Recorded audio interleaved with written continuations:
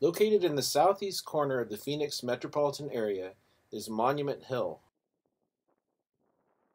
which sits beside the popular Phoenix International Raceway. Atop Monument Hill lies the initial point for the state of Arizona.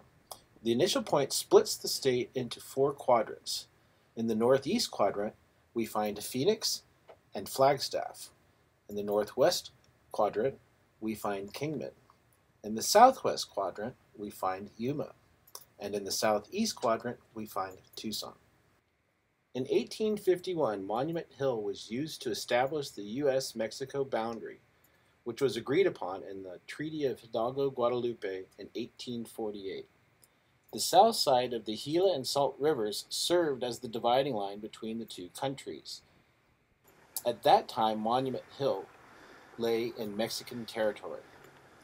Monument Hill would later be used by John Clark in 1865 to establish the township and range grid system for the state of Arizona, officially known as the Public Land Survey System, used throughout the western part of the United States.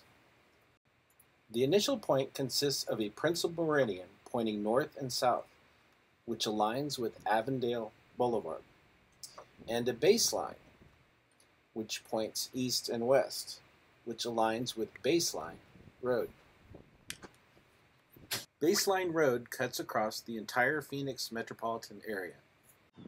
Like most cities in the western United States, Phoenix, Arizona is based on a township and range grid. We are one mile north of Monument Hill. See in the background there. I am standing at the intersection of Southern Avenue and Avondale Boulevard. This intersection demarcates the boundaries between different township and range grids. Township 2 north, range 1 west.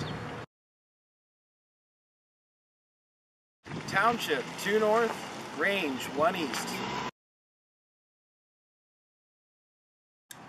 Township 1 north, range 1 east, northeast corner.